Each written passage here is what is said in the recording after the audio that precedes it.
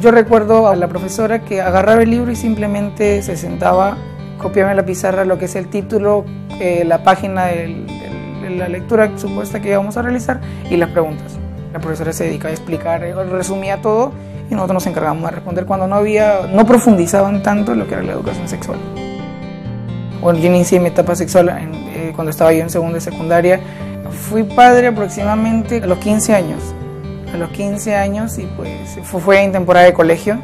La verdad, eh, cuando me enteré de eso fue difícil para mí porque jalé el año. Se me bajó bastante la autoestima, ya no era lo mismo porque prácticamente no sabía mucho de eso, no me había orientado tanto en eso. En el salón que yo estaba, no solamente fui yo el único que salió con una hija del colegio. En el transcurso de esos años fueron una más, una más y una más. Tal vez en nuestras casas pueden tener esa creencia, puede ser un tabú la sexualidad, pero en los colegios tienen que abrirnos los ojos realmente para ver la realidad o cómo es la sexualidad eh, para nosotros mismos. Vean las cosas como son y no taparles los ojos.